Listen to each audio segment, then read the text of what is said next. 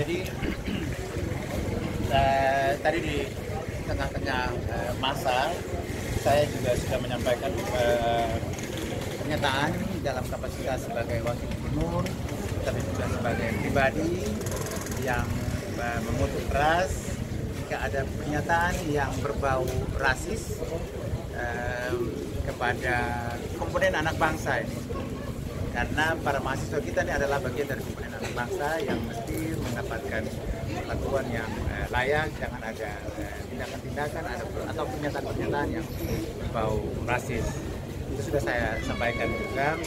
Dan kemudian menindaklanjuti tuntutan dari eh, eh, apa namanya masa demo. Eh, tadi barusan ada beberapa poin yang bisa segera kita tindak lanjuti. Misalnya eh, saya mengkomunikasikan itu langsung dengan Ibu Gubernur eh, Jawa Timur Ibu Kofifa untuk eh, beliau ketahui tapi beliau juga sudah memberikan atensi memberikan perhatian sudah berkomunikasi dengan Pak Gubernur Papua Pak NMB dan eh, berkomunikasi juga dengan kami. Intinya apa yang menjadi pemicu dan itu bisa diambil langkah atau langkah bisa langkahnya bisa ditempuh atau bisa diambil oleh beliau akan beliau ambil.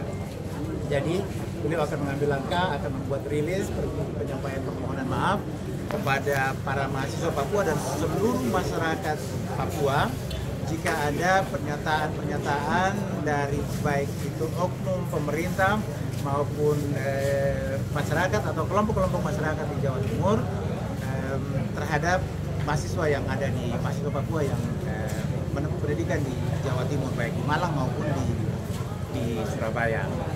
Kemudian Ibu Gubernur juga sudah eh, memberikan eh, pernyataan atau garansi bahwa akan meminta kepada Wakil Wali Kota Malang untuk eh, mencabut pernyataan akan memulangkan para mahasiswa Papua yang ada di Malang dan sekaligus meminta maaf kepada para mahasiswa serta menjamin eh, keselamatan, menjamin para mahasiswa Papua yang ada di Jawa Timur secara keseluruhan bisa kembali eh, menempuh pendidikan, bisa bersekolah, bisa kuliah dengan baik.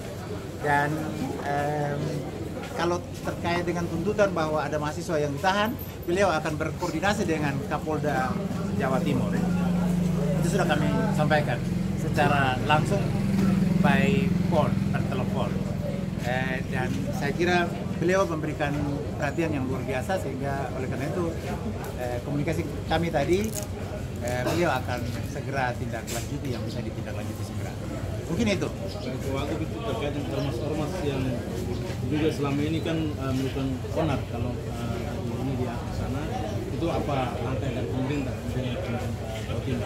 termasuk itu termasuk itu langkah-langkah yang akan nanti di, di, dipertimbangkan oleh ibu gubernur untuk eh, ormas-ormas yang meng- apa namanya mengambil langkah-langkah yang barangkali berlebihan sehingga kemudian memicu terjadinya aksi ini.